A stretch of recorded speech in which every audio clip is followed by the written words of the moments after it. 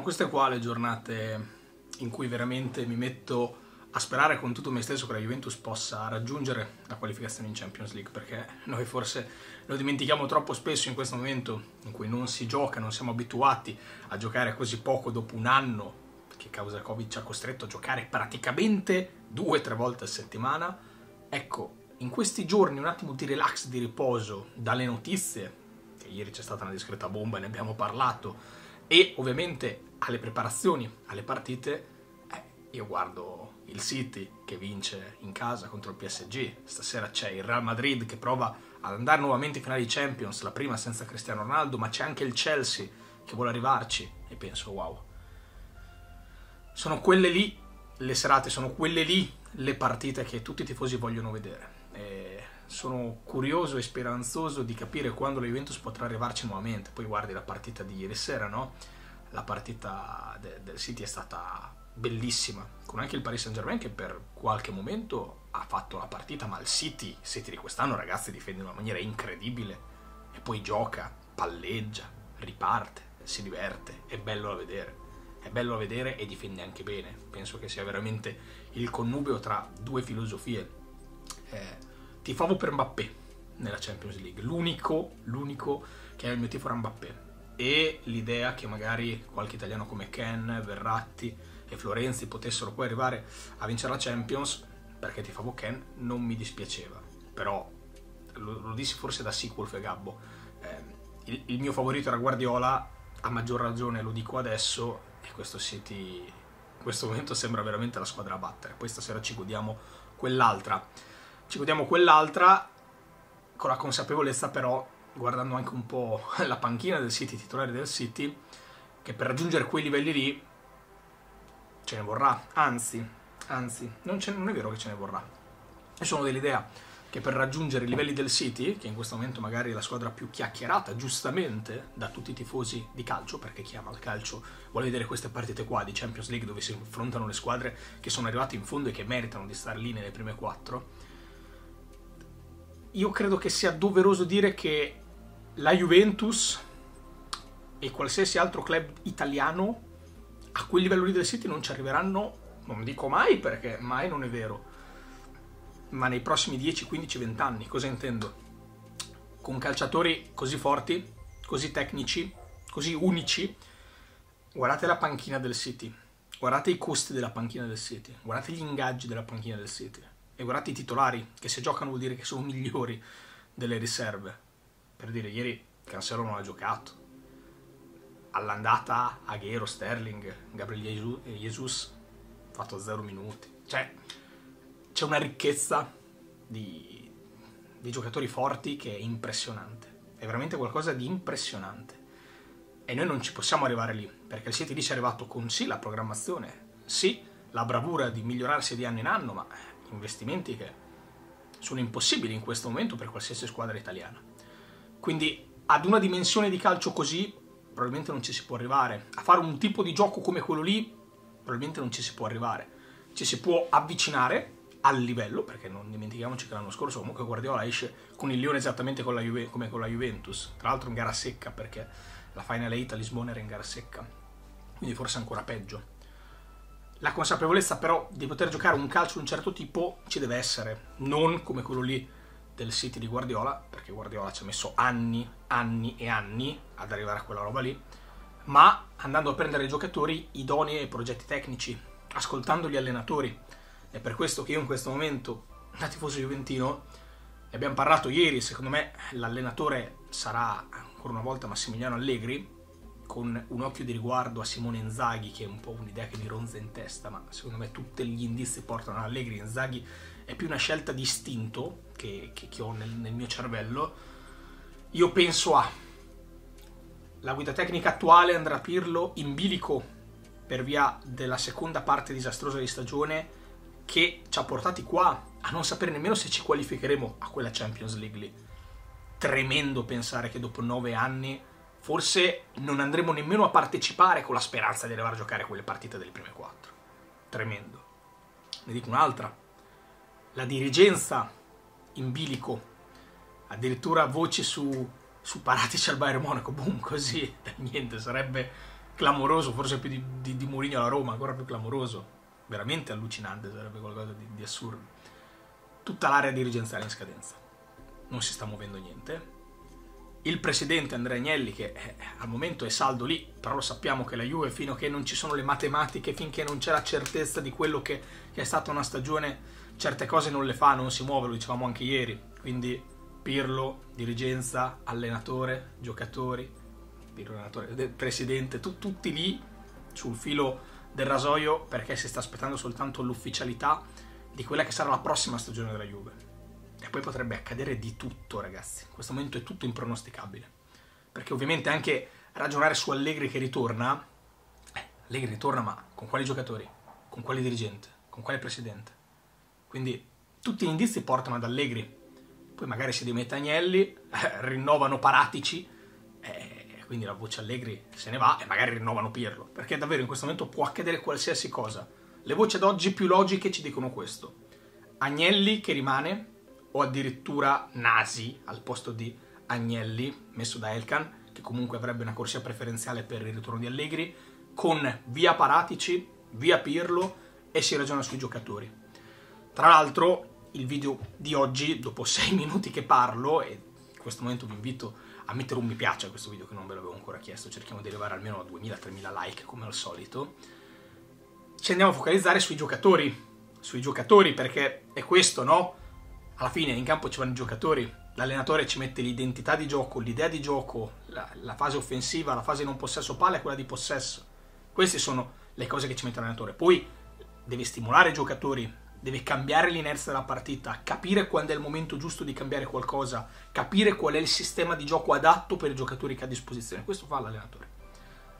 Però poi lo stop sbagliato, il gol sbagliato, il passaggio sbagliato, il gol subito su una punizione dell'Udinese con ancora la palla in mano i giocatori che non vanno in barriera, quelli che devono marcare l'esterno di destra e sono due contro uno, nessuno dei due lo guarda e quindi l'esterno di destra può fare quello che vuole, quindi bisogna scalare, il centrale va a fare il terzino, il terzino e l'esterno ancora non stanno guardando che non hanno capito e quindi il portiere prende anche gol sul suo palo, quelle cose lì, quelle cose lì che, che non accadranno mai alla Juventus. La Juventus non potrebbe mai prendere un gol del genere contro l'Udinese in un momento così clamoroso nel quale non sappiamo nemmeno se ci qualifichiamo in Champions, con magari le due squadre sulle quali bisognava allungare, che avevano appena pareggiato e quella dietro aveva vinto e quindi ti aveva superato. No, beh, questo è assolutamente inconcepibile. La Juve non potrebbe mai fare una roba di questo tipo.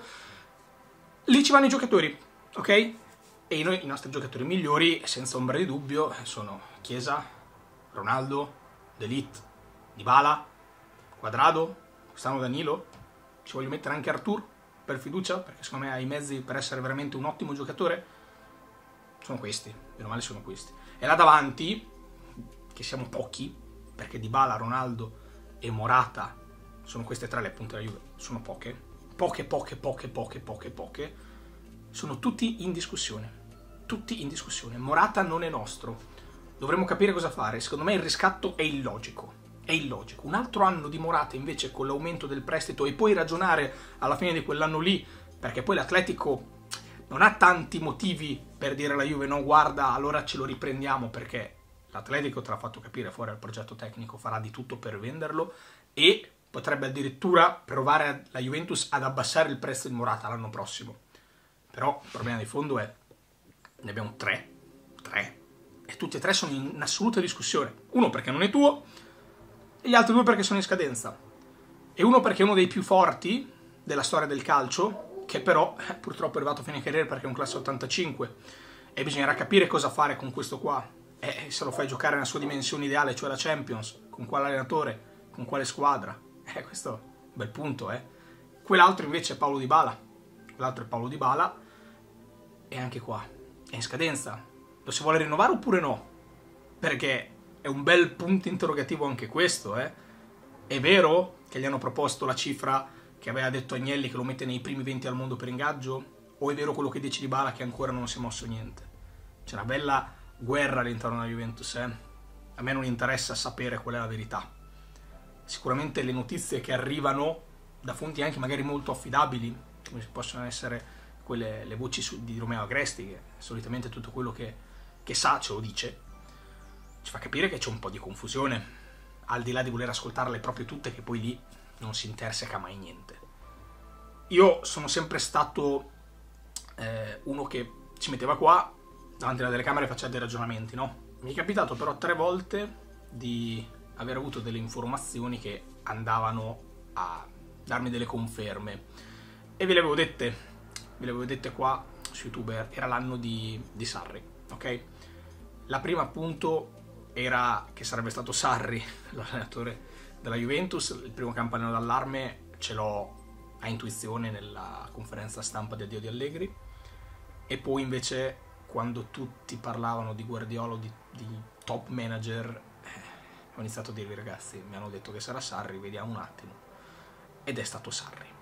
La seconda è stata D'Elite, quindi nella seconda annata, nel momento in cui tutti lo davano per certo, per fatto a Barcellona, e avevano detto che D'Elite era già un giocatore della Juventus, e quindi ero molto tranquillo di quella cosa lì, e l'ho detta e si è avverata. La terza invece è stata un'accantonata tremenda, che è stata Dybala al PSG, con tanto di biglietti aerei già prenotati per visite mediche e giro a Parigi.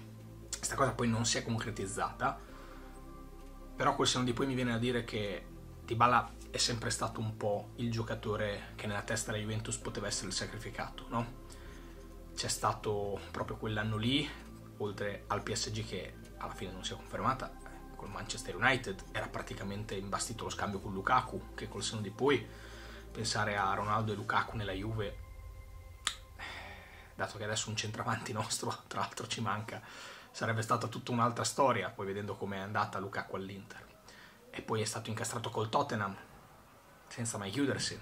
E poi c'era appunto questa voce PSG, però quell'anno lì di Bala è stato più di una volta messo sul tavolo dei partenti, no? Nella lista dei partenti. L'anno scorso, cioè quest'estate no, vuoi perché il Covid aveva cambiato tutto, c'era soltanto un mese di mercato, Di Bala era stato il miglior giocatore della Serie A dell'anno scorso, ma sono veramente dell'idea che la Juventus abbia comunque cercato una sistemazione per Dybala. In questo momento in cui gli manca soltanto un anno di contratto, io temo che la Juventus farà di tutto per venderlo e che lo incastrerà in un qualsiasi scambio che possa portare un giocatore di un certo tipo. Dall'altra parte, come vi dicevo nel video che ho caricato ieri con Chinosce e con Beppe, secondo me anche Cristiano Ronaldo è destinato a salutare la Juventus, al di là della qualificazione Champions, al di là dell'eventuale qualificazione Europa League, al di là dell'allenatore. Secondo me Ronaldo ha concluso il suo percorso alla Juventus, si sta aspettando soltanto il momento adatto per dare questa notizia per sua volontà, per sua volontà. Sono, queste sono tutte sensazioni, no?